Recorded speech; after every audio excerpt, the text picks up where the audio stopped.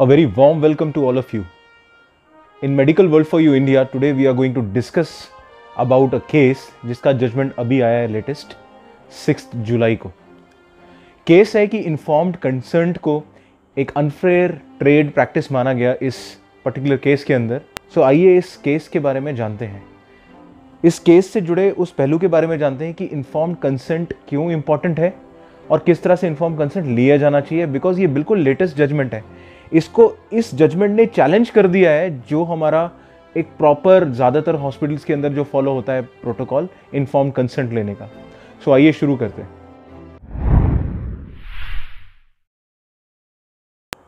Well well, जो ये case है ये है mister Khanna versus RG Stone and Laparoscopic Clinic इस केस के अंदर हालाँकि मेडिकल नेग्लिजेंस तो प्रूफ नहीं हुई लेकिन इन्फॉर्म कंसर्न के लेने के तरीके के ऊपर कोर्ट ने क्वेश्चन मार्क उठाया उन्होंने क्लियरली कहा है कि जो इन्फॉर्म कंसेंट जो प्री प्रिंटेड इन्फॉर्म कंसेंट्स होते हैं, उनको अनफेयर ट्रेड प्रैक्टिस बोला गया।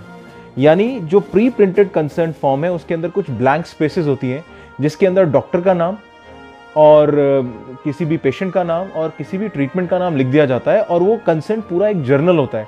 सो so, किसी भी प्रोसीजर के लिए वो फिट कर दिया जाता है। इसको उन्होंने अनफेयर ट्रेड प्रैक्टिस कहा है। ये केस टू केस बेसिस के ऊपर होना चाहिए। आइए इस केस के बारे में कुछ डिटेल जानते हैं। केस ये है कि एक पेशेंट थे मिस्टर खन्ना उनको एब्डोमिनल पेन हुआ और वो आरजे स्टोन हॉस्पिटल में गए। वहाँ पर उन्होंने अपना ट्रीटमेंट के लिए प्लान किया। वहाँ पर उनको सर्जरी एडवाइस की। The pain was due to some prostate problem उनकी सर्जरी की गई। सर्जरी के बाद ही had urinal discharge through rectum ये बहुत ही अनयूजुअल कॉम्प्लिकेशन होता है किसी भी प्रोस्टेट सर्जरी के लिए।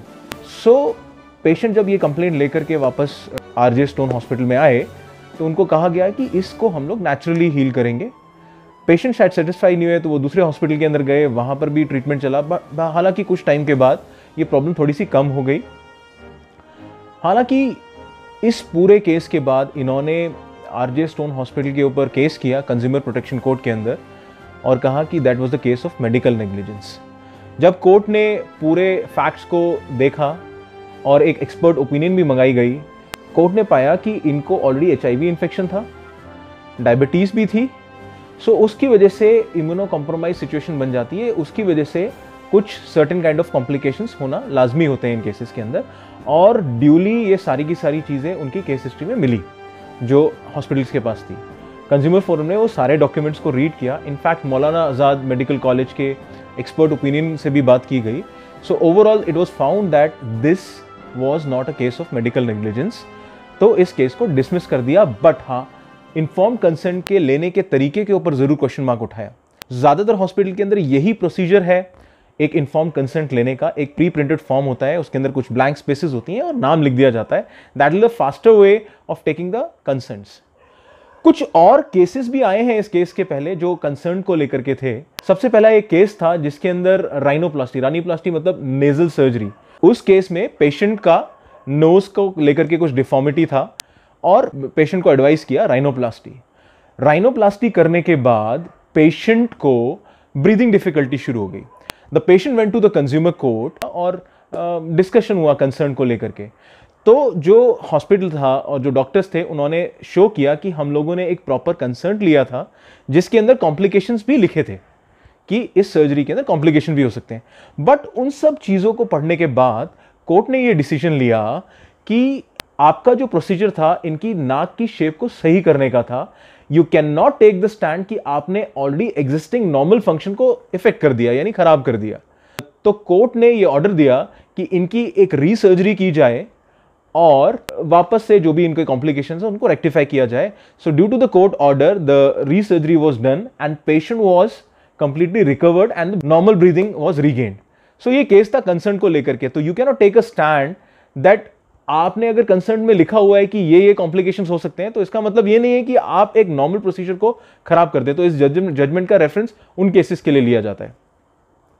थर्ड एक बहुत इंपॉर्टेंट केस था जिसके अंदर एक 19 या 20 साल के बच्चे को स्पाइनल एनेस्थीसिया दिया और वो स्पाइनल एनेस्थीसिया देने के बाद उसकी डेथ हो गई। सो so, ये केस भी कंसर्न को लेकर के था। एक एक और केस था वो केस थोड़ा सा कॉन्ट्राडिक्ट्री है इस जजमेंट को। मैं शायद मानता हूँ I don't know we we believe in the court system and the legal system उस केस में क्या था कई बार क्या होता है कुछ एमरजेंसी सडन अकर करती हैं। There was a case which was operated by some surgeon और during the operation there was uncontrol bleeding so uncontrol bleeding थी तो उस केस के अंदर इमीडिएटली uh, उनको डिसीज़न लेना था शायद पेशेंट का यूटरस निकालना था। तो यूट्रस निकालने के बाद शायद ब्लीडिंग कंट्रोल हो जाती। तो इसी चीज़ का कंसर्न लेने के लिए ड्यूरिंग द ऑपरेशन वो पेशेंट के पेरेंट्स के पास गए और उनसे पूछा कि आपको पेशेंट की जान बचानी है तो हम लोगों को ये यूट्रस निकालना पड़ेगा। We are asking your concern that can we go ahead with the removal of the uterus तो उन्होंने बोला डॉक्टर को कि नहीं, हमें अपने पेशेंट की जान बचानी है। तो उसी, उन्हीं की वर्बल कंसेंट लेकर के उन्होंने यूटरस निकाल दिया। एंड मेक श्योर इस केस के अंदर बहुत ही कम टाइम था डॉक्टर के पास डिसीज़न लेने के लिए। बट ये केस कंज्यूमर कोर्ट में गया। जो पेशेंट थे, उनके हस्बैंड ने केस किया कि हम लोगों से इन्फॉर्म कंसेंट नहीं लिया गया। उसको लेकर के डॉक्टर्स ने क्लियरली वहाँ पर डिफेंस लिया कि हम लोगों ने वर्बल कंसेंट लिया था। और पेरेंट्स से लिया था और इसीलिए हमने यूटेरस निकाला था। जब इस केस की डिटेलिंग हुई तो पता पाया गया था कि उस हॉस्पिटल ने एक एक्सपर्ट ओपिनियन भी मांगा था आ, किसी और हॉस्पिटल से यानी उस फ़ील्ड के एक स्पेशलाइज सर्जन से ये ये ये क्रॉस क्वेश्चनिंग भी करी थी कि uterus should be removed so इस केस में पाया गया कि वर्बल कंसेंट भी आ, लिया गया था तो इसको हम लोग मेडिकल मेडिकल नेग्लिजेंस नहीं मान सकते। सो so, अगर इमरजेंसी सिचुएशन है और हम लोग इस तरह से वर्बल कंसेंट लेते हैं या कंसेंट को पूरी तरह से लिखते हैं तो उसके अंदर टाइम का क्या फ्रेम रहेगा? ये सारे क्वेश्चन है वो शायद आने वाले केसेस के अंदर आए। हो सकता है इंडियन मेडिकल एसोसिएशन इसके अंदर कुछ पॉइंट उठाए। हालाँकि अगर हम इन सब चीज़ों को कंक्लूड करें तो मेडिको नेग्लिजेंस के केसेस कंज्यूमर कोर्ट के अंदर जाते हैं। इसके ऊपर मैंने एक डिटेल वीडियो बनाया हुआ है कि क्यों medico legal cases consumer court के अंदर जाते हैं। इस वीडियो के अंदर मैंने पूरा डिटेल में समझाया है कि क्या क्या कोर्ट की प्रोसीडिंग हुई है और किस किस बेसिस पर कंज्यूमर कोर्ट के अंदर लड़ सकते हैं पेशेंट ये सारी की सारी डिटेल इंफॉर्मेशन मैंने उस वीडियो के अंदर पूरी तरह से डाली है। तो कोर्ट ने पूरी तरह से कन्विंस किया इंडियन मेडिकल एसोसिएशन को medico legal cases should be fight under the consumer court so अगर हम इसको कंक्लूड करके देखें तो इन्फॉर्म कंसर्न एक बहुत ही इंपॉर्टेंट डॉक्यूमेंट है। ये डॉक्यूमेंट अगर पेशेंट की वनरेबल लैंग्वेज में लिया जाए और केस टू केस लिया जाए तो शायद इसकी वैल्यू होती है।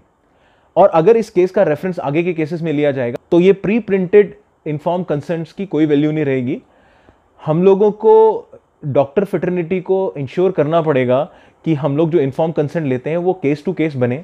उसके अंदर प्रॉपर डिटेल लिखी जाए केस की क्या क्या अल्टरनेटिव ऑप्शंस हो सकते हैं क्या क्या कॉम्प्लिकेशंस हो सकती हैं ना सिर्फ़ उसको इंग्लिश भाषा में या फिर उस वनरेबल लैंग्वेज के अंदर भी समझाना है पेशेंट को हिंदी लैंग्वेज के अंदर भी समझाना है जो भी पेशेंट लैंग्वेज बोलता है उस लैंग्वेज के अंदर समझाना है। जब सारी की सारी चीज़ें हो जाती हैं तो उसी के बेसिस पे हम इस चीज़ को लिया जाए। सो so, कंक्लूजन यही है कि अनफेयर ट्रेड प्रैक्टिस जो वर्ड जुड़ गया है इस केस के बाद सो so, वो बहुत खतरनाक वर्ड है बट लेकिन हाँ हम लोगों को कॉशियस रहना पड़ेगा पेशेंट्स को देखने के लिए। सो अगर आपको इन्फॉर्मेशन अच्छी लगी you want to know more about this kind of thing kindly subscribe my channel and share it इसी तरह के लॉज को लेकर के, कुछ इंपॉर्टेंट केसेस को लेकर के हम लोग आते रहेंगे आपके साथ डिस्कस करने के लिए.